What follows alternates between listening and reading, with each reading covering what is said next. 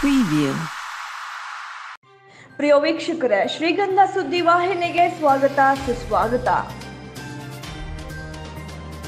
ನೂತನ ಕೃಷಿ ಕಾನೂನುಗಳನ್ನು ವಿರೋಧಿಸಿ ರಾಜ್ಯದಲ್ಲಿ ನಡೆಯುತ್ತಿರುವ ರೈತ ಹೋರಾಟವನ್ನು ಪೊಲೀಸರ ಮೂಲಕ ಹತ್ತಿಕ್ಕಲು ಮುಖ್ಯಮಂತ್ರಿ ಬಿಎಸ್ ಯಡಿಯೂರಪ್ಪ ಅವರು ತನ್ನ ರೈತ ವಿರೋಧಿ ನಿಲುವಿಗೆ ತಕ್ಕ ಪ್ರತಿಫಲವನ್ನು ಉಣ್ಣಬೇಕಾಗುತ್ತದೆ ಎಂದು ಮಾಜಿ ಮುಖ್ಯಮಂತ್ರಿ ಸಿದ್ದರಾಮಯ್ಯ ಎಚ್ಚರಿಕೆ ನೀಡಿದ್ದಾರೆ ಡೆಲ್ಲಿಯಲ್ಲಿ ನಡೆಯುತ್ತಿರುವ ರೈತರ ಟ್ರ್ಯಾಕ್ಟರ್ ಮೆರವಣಿಗೆಯಲ್ಲಿ ಯಾವುದೇ ಅಹಿತಕರ ಘಟನೆ ನಡೆದರೆ ಅದರ ಸಂಪೂರ್ಣ ಜವಾಬ್ದಾರಿಯನ್ನ ಪ್ರಧಾನಿ ನರೇಂದ್ರ ಮೋದಿ ಮತ್ತು ಅವರ ಸಚಿವ ಸಂಪುಟವೇ ತೆಗೆದುಕೊಳ್ಳಬೇಕು ಎಂದು ಸಿದ್ದರಾಮಯ್ಯ ಕೇಂದ್ರ ಸರ್ಕಾರಕ್ಕೂ ಆಗ್ರಹಿಸಿದ್ದಾರೆ. ತಮ್ಮ ಹಕ್ಕುಗಳಿಗಾಗಿ ಪ್ರತಿಭಟನೆ ನಡೆಸುತ್ತಿರುವ ರೈತರ ವಿರುದ್ಧವಾಗಿ ನಿಲುವು ತಾಳಿರುವ ಮುಖ್ಯಮಂತ್ರಿ ಬಿಎಸ್ ಯಡಿಯೂರಪ್ಪ ಅವರು ಇದಕ್ಕೆ ತಕ್ಕ ಬೆಲೆ ಅನುಭವಿಸ್ತಾರೆ ಎಂದು ಟ್ವಿಟ್ಟರ್ ಮೂಲಕ ಸಿದ್ದರಾಮಯ್ಯ ಅಸಮಾಧಾನವನ್ನು ವ್ಯಕ್ತಪಡಿಸಿದ್ದಾರೆ. ಕಾಲ ಮಿಂಚುವ ಮೊದಲೇ ರೈತ ಹೋರಾಟಗಾರರ ಆಕ್ರೋಶ ಸ್ಫೋಟಗೊಳ್ಳಲು ಅವಕಾಶ ನೀಡದೆ ದಯವಿಟ್ಟು ಪ್ರಧಾನಿ ನರೇಂದ್ರ ಮೋದಿ ಅವರು ತಕ್ಷಣ ರೈತ ವಿರೋಧಿ ಕಾನೂನುಗಳನ್ನು ವಾಪಸ್ ಪಡೆಯಬೇಕೆಂದು ಆಗ್ರಹಿಸಿದ್ದಾರೆ.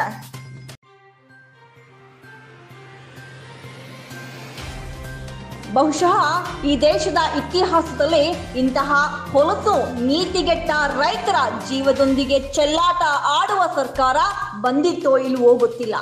ರೈತರ ಹೆಸರಲ್ಲಿ ಪ್ರಮಾಣ ವಚನ ಸ್ವೀಕರಿಸೋದು ಅವರ ಜೀವಂತ ಸಮಾಧಿ ಮಾಡೋದು, ಅವರ ಹೆಸರಿನಲ್ಲಿ ಬೇಳೆ ಬೇಯಿಸ್ಕೊಳ್ಳೋದು ಅಬ್ಬಬ್ಬಬ್ಬಬ್ಬ. ಇದೇನ್ರಿ ನಿಮ್ಮ ಲಾಜಿಕ್ಕು ಮ್ಯಾಜಿಕ್ಕು ನಿಮ್ಮ ಈ ಮೋಸದ ನಡೆಗೆ ನಿಮ್ಮಂಥವರ ಹಡೆದ ತಪ್ಪಿಗೆ ನಿಮ್ಮಂತಹ ಬುದ್ಧಿಗೇಡಿ, ಮಾನಗೇಡಿ ಕೆಟ್ಟ ರಾಜಕಾರಣಿಗಳಿಗೆ ಬದುಕಲು ಅವಕಾಶ ಕೊಟ್ಟ ಆ ತಾಯಿ ಭಾರತ ಮಾತೆ ಇವತ್ತು ಅದೆಷ್ಟು ಕಣ್ಣೀರಿಡ್ತಿರಬಹುದು ಅದೆಷ್ಟು ಪರಿತಪಿಸ್ತಿರಬಹುದು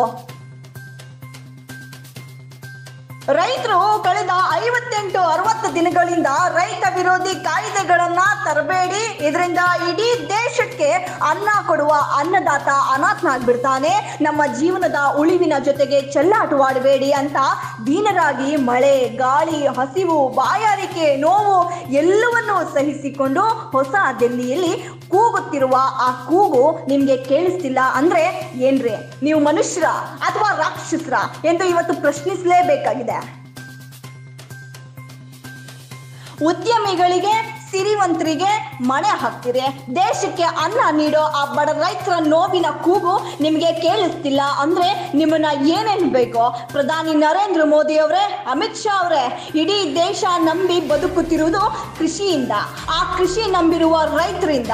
ಅವರು ನೀಡಿದ ಮತ ಪಡೆದು ಇವತ್ತು ಅಧಿಕಾರವಿದೆ ಎಂಬ ಪರಮ ಕೀಚತನದ ಪರಮಾವಧಿಯ ಘನಘೋರ ಅನ್ಯಾಯ ಮಾಡ್ತಿದ್ದೀರಲ್ಲ, ನಿಮಗೆ ಏನನ್ಬೇಕು ಇನ್ನ ಬಿ ಸಿ ಪಾಟೀಲ್ ಅನ್ನೋ ನಾಲಾಯಕ್ ಕೃಷಿ ಸಚಿವ ಅನ್ನೋ ವ್ಯಕ್ತಿ ಇವತ್ತು ಕೊಪ್ಪಳದ ಪ್ರವಾಸಿ ಮಂದಿರದಲ್ಲಿ ಕುಳಿತು ರೈತರು ಭಯೋತ್ಪಾದಕರಂತೆ ಬೇರೆ ದೇಶದವರ ಅದರಲ್ಲೂ ಕನಸಿನಲ್ಲೂ ಕೂಡ ದ್ವೇಷಿಸುವ ಪಾಕಿಸ್ತಾನ ಅನ್ನೋ ದೇಶ ಕುಮ್ಮಕ್ ನೀಡ್ತಿದೆಯಂತೆ ಕಾಂಗ್ರೆಸ್ನವರ ಸಪೋರ್ಟ್ ಇದೆ. ಪ್ರತಿಭಟನೆಯಲ್ಲಿ ಭಾಗವಹಿಸುವವರೆಲ್ಲರೂ ಭಯೋತ್ಪಾದಕರು ಅಂತಿರಲ್ಲ.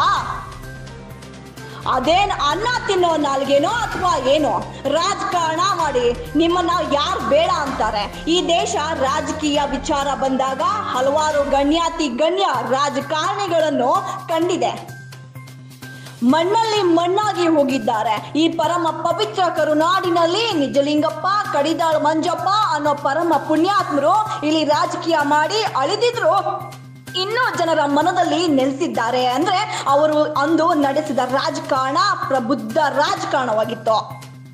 ಆದರ್ಶ ರಾಜಕಾರಣವಾಗಿತ್ತು. ಅಂತಹ ಪುಣ್ಯಾತ್ಮರು ರಾಜಕಾರಣಕ್ಕೆ ಪವಿತ್ರವಾದ ಅರ್ಥ ಕೊಟ್ಟು ಹೋದ್ರು. ಅಂತಹ ನಾಡಿನಲ್ಲಿ ಹುಟ್ಟಿದ್ದ ನಿಮ್ಮಂತಹ ಎಡಬಡಂಗಿಗಳು, ಅಧಿಕಾರ ದಾಹಿಗಳು, ಹೆಂಗಂದ್ರ ಹಂಗೆ ಅನ್ನ ಕೊಡುವ ರೈತರ ಜೀವಕ್ಕೆ ಬೆಂಕಿ ಇಡುವ ಅನ್ಯಾಯದ ನುಡಿಗಳನ್ನಾಡುವ ನೀಚ ರಾಜಕಾರಣಿಗಳಿಂದ ಈ ಸಮಾಜಕ್ಕೆ ಸಿಗುವ ಕೊಡುಗೆಯಾದ್ರೂ ಏನು?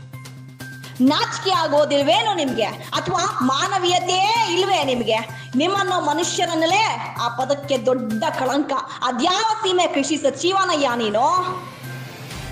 ರೈತ ಅನ್ನೋ ಪದದ ಅರ್ಥ ನಿನ್ ಗೊತ್ತಾ? ಹಗಲಿರುಳು ಭೂತಾಯಿಯ ಸೇವೆಯೇ ನಮ್ಮ ಪಾಲಿನ ಉಸಿರೆಂದು ಭಾವಿಸಿ ರಕ್ತ ಬಸಿದು ಬೆವರು ಸುರಿಸಿ ಅನ್ನ ನೀಡುವ ರೈತರ ಬಗ್ಗೆ ಮಾತನಾಡುವ ಯೋಗ್ಯತೆಯಾದ್ರೂ ನಿನ್ಗಿದ್ಯಾ? ಮೊದಲು ಆತ್ಮಾವಲೋಕನ ಮಾಡ್ಕೋ. ರಾಜಕಾರಣ ಯಾರು ಬೇಕಾದರೂ ಮಾಡಬಹುದು. ಬರುವ ಸರ್ಕಾರ, ಹೋಗುವ ಸರ್ಕಾರ, ಕಾನೂನು ಕಟ್ಟಳೆಗಳು ಯಾರಪ್ಪನ ಮನೆಯ ಸ್ವತ್ತು ಅಲ್ಲ.